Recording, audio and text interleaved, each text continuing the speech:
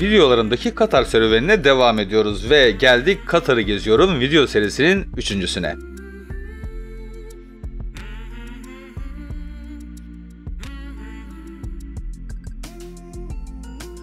Bu videoda tüm Katar'ı geziyorum videolarında olduğu gibi önce Katar'la ilgili genel bilgiler vereceğim. Sonrasında ikinci videoda yarım bıraktığımız başkent Doha'da bulunan Suk Vakıf Çarşı'yı dolaşmaya devam edeceğiz. Katar'dan bahsetmeye başlamadan önce şu parmaklarınızın abone ol butonuna bastığını görmek istiyorum yalnız. Abone ol butonuna bastınız mı? Basmayan kaldıysa anlatmıyorum. Tamam anlatıyorum problem yok. Nasılsa video biterken basarsınız.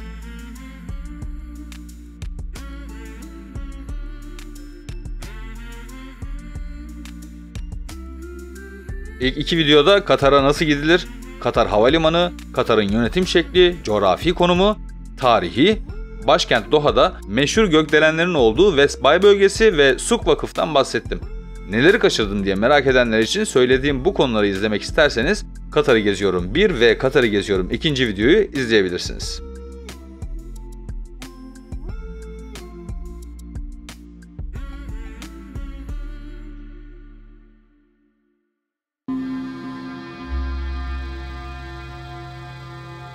Ülke ismini lokomotif ve vagonlardan oluşan dizi veya arka arkaya sıralanmış taşıtların oluşturduğu dizi anlamına gelen Katar kelimesinden alıyor. Katar devletinin bayrağı beyaz ve kestane rengi olmak üzere iki renkten oluşuyor ve bu iki rengin birleştiği nokta bağımsızlığını ilan eden 9 Arap devletin temsilen 9 tane üçgen yani onlar da zikzak şeklinde görülüyor. Katar bayrağı dünyada genişliği yüksekliğinin iki katından fazla olan tek ulusal bayrak özelliğini taşıyor.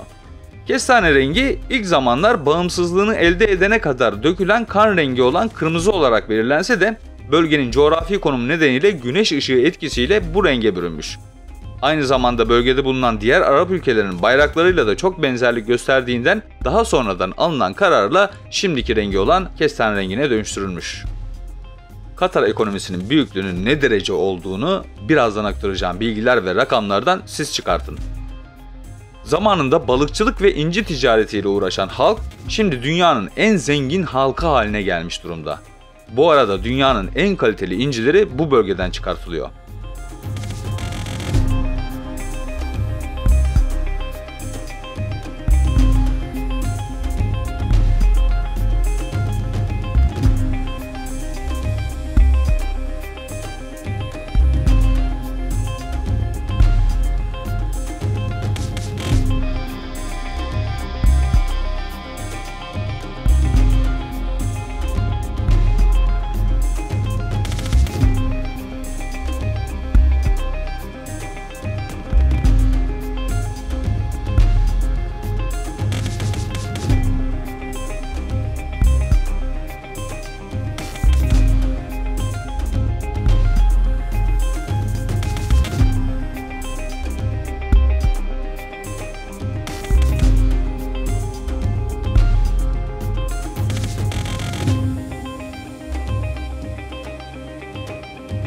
Hala Suk Vakıf'ta ve Suk Vakıf'a yakın olan içinde altın, mücevher gibi bir un takı satın alabileceğiniz Gold Suk pazarından inci satın alabilirsiniz.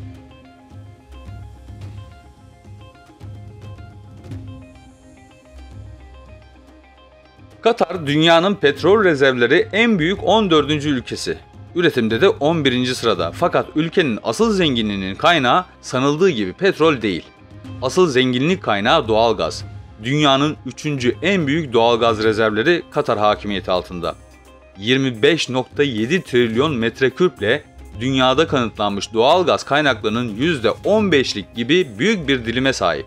Bu rezervde bu üretim hızıyla hesaplandığında yaklaşık 250 yıl kadar yetebileceği söyleniyor. Sadece doğalgaz kaynaklarıyla yetinmeyip dünya çapında büyük ve akıllıca yatırımlar da yapıyor Katar devleti. Bunlardan birkaçı bizim yakından bildiğimiz Alternatif Bank, Dijitürk, QNB Finans Bank, Bean Sport gibi firmalar. Bunlar gibi sadece Türkiye'de değil dünyanın birçok yerinde birçok yatırımları mevcut. Bunların yanında 2022'de yapılacak FIFA Dünya Kupası organizasyonu Katar'da gerçekleşecek. Bu büyük organizasyona çok önem veren Katar devleti muhteşem stadyumlar yapıyor. Altyapı ve yolları yeniliyor, oteller inşa ediyor ve gelecek misafirlerin karşılaşabileceği trafik problemini çözmek için ülkenin büyük bir alanına metro ağı kuruyor. Ülkenin yüksek olan sıcaklığına karşı statların normal sıcaklıklarda olabilmesi için devasa soğutma sistemleriyle statları serinletmeyi planlıyor. Ve bu çalışmaların büyük bir bölümünde Türk firmaları çalışıyor. Merhabalar nasılsınız? Merhabalar, teşekkür ederim. Siz nasılsınız? Sağ olun. Katar'da karşılaşmak da varmış Türklerle. Ee, buraya ne zamandır buradasınız? 4 ay bitti, 5. aya girdik. 5. aydasınız. Burada nerede çalışıyorsunuz? Bu Altın Mama, Tekren, Stadyum. Stadyum yapıyorsunuz. Stadyum yapıyoruz. Bu 2022'de olacak 2023 mü? 2022 2022, 2022. Dünya Kupası için değil mi? Stadyum en büyüğünü yapıyoruz. Evet. 3-4 tane Yani dünyadaki en büyük stat mı olacak bu? Katar'da en büyük stadyum. Katar'ın en büyük stadı olacak. 3-4 tane yapıyor. Normalde bizim yaptığımız en büyük. Tekfen şirketinde çalışıyorsunuz. Tekren şirketinde çalışıyoruz. Stadın ismi ne? Altın, Altın Mama Stadyum. Altun Altın Mama. Altın, Altun Mama Stadyumu. Altın Stadyum. 2022. Siz ne zaman biter bu iş? Sizin stat? Hava inşaatı, inşaatı 2 aya biter. 2 aya kadar biter ama 2022'yi bekleyecek maçlar için. Ancak olur zaten onun çatısıdır, ince işçiliğidir. İnce işçiliği de var. Bir sene var. Diş kaplaması var. Sadece stadyum değil yani çok amaçlı. Evet. Alışveriş merkezi, sadece stadyumda değil yani. Yaptığımız hem stadyum hem alışveriş merkezi. Alışveriş merkezi de var içinde stadyumun. Çok güzel bir şey olacak o zaman. Çok güzel bir şey oldu yani. 2022 yılında olacak bu organizasyon için devletin planladığı bütçe ise dudak uçuklatacak kadar yüksek. Tam 170 milyar dolar. Katar'ın ekonomisi düşman kıskandıracak kadar büyük ve dengeli dış politikası nedeniyle birçoğumuzun bildiği gibi başta Arabistan olmak üzere Arap ülkeleri tarafından Haziran 2017'den beri sert yaptırımlı ambargo uygulanıyor. Bu süreçte basından da takip ettiğimiz kadarıyla en büyük destekçisi Türkiye oldu ve olmaya devam ediyor. Yine gördüğümüz kadarıyla bu destek karşılıklı devam ediyor. Katar'ın ekonomik yapısından bahsettik. Siyasi konulara hiç girmeden bu videonun asıl konusu Suk Vakıf'a geçelim. Ama önce Doha'nın meşhur saatçisi Adamson ismini taktığımız saatçiye gidelim. Şimdi Katar'ın adamsın saatçisine giriyoruz. Neden adamsın dediğimizi anlayacaksınız. Bakın şimdi. Selamünaleyküm. Aleyküm selam ve rahmetullahi ve berekatuhu Habib. Nasılsın?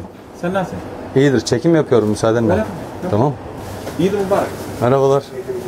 Nasılsın? Sensin adam. Adamsın. Adam değil. Adamsın. Merhabalar. Merhaba. Adamsın. Adam gibisin. Sensin adamın dibi. Çekeyim seni. Hasan sen. Adamsın. Adam gibi sen. Sensin adamın dibi. Sen nasılsın? Evet. Aa, Sokna kadar. Ne? Adamsın. Adam Tamam. gibi sen. Orayı bip yapacağız. O. Tamam onu çekmeyeceğiz. Adamın dibisi. Adam. Saatler ne kadar? Ne kadar o? Protrek. Protrek evet. Protrek 650. 650. Geldi? Riyal. Riyal. Geldi 650 mi? riyal.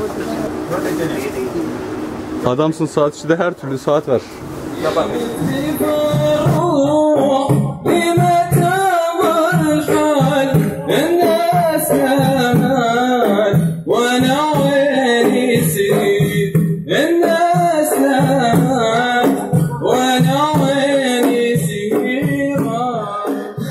Özellikle Perşembe ve Cuma akşamları Suk Vakıf'ta dolaşırken bu tarz geleneksel oyun eşliğindeki etkinliklerle karşılaşmanız yüksek ihtimal.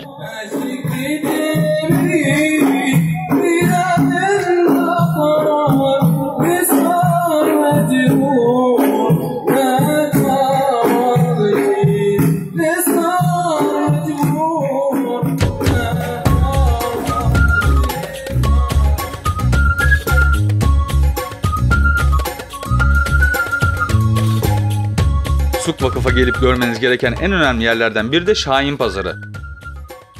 Pazarda şahinlerin ayağından iple bağlı olduğunu, etraftan korkmaması ve zarar vermemesi için deri bir maskeyle başlarının tamamen kapatıldığını görebilirsiniz. Dünyanın en pahalı hobisi olarak görülüyor. Çünkü bu şahinler çok pahalı. Şahinler Katar'da bir zenginlik göstergesi ve Orta Doğu'da şahini olmayan bir şey yok gibi. Okay, how much money this? 10,000. 10,000.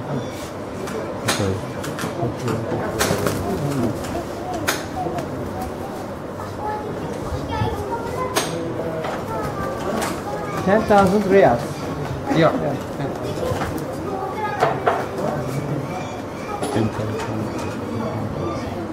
And ten thousand and other. Yeah. Yeah.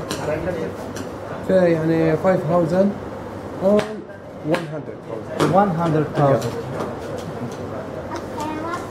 minimum minimum 10,000 minimum yani same small yani hani 4,000 4,000 and uh, 100,000 100,000 1 milyon Fiyatları tüylerine göre, eğitimine göre, avcılık özelliğine göre ve büyüklüğüne göre değişiklik gösteriyor. Fiyatları 1 riyalden başlayıp milyon riyallere kadar artıyor.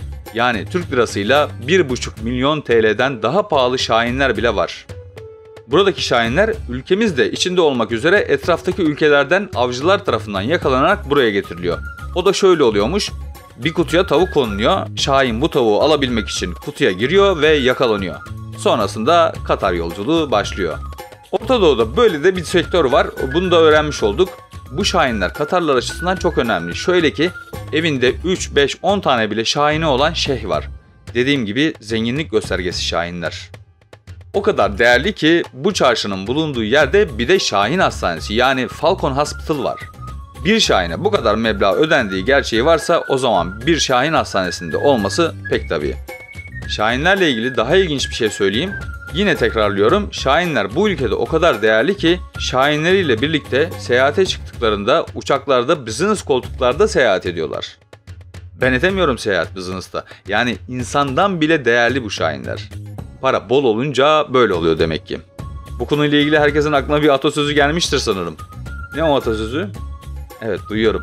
Nazar etme ne olur, çalış senin de olur.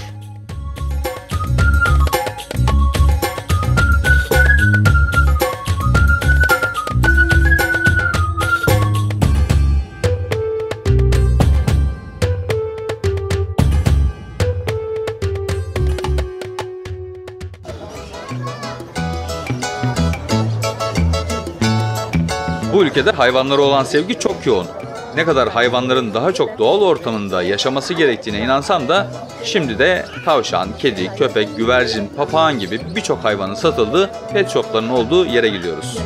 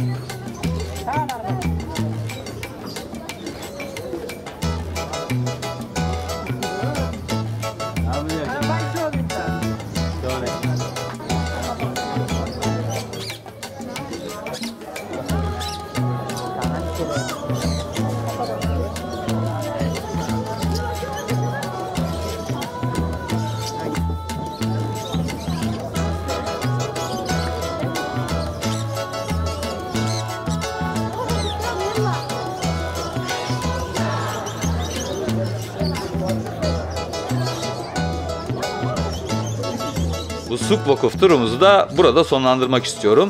Zira video sürelerinde sıkılmadan izleyebilmeniz için çok fazla uzun tutmak istemiyorum. Suk Vakıf turumuza devam edeceğiz ama kaçıncı Katar'ı geziyorum videosunda olabileceğini tam kestiremiyorum. Çünkü bir fuar gezim oldu. O görüntüleri sizinle paylaşmak istiyorum. Nihayetinde ilk Katar'ı geziyorum videomda da söylediğim gibi size söz verdiğim gibi burada gezdikçe kamerama takılan görüntüleri size aktarmaya devam edeceğim. Kanalıma abone olmazsanız haberdar olamazsınız. Bir dahaki videomda görüşmek üzere.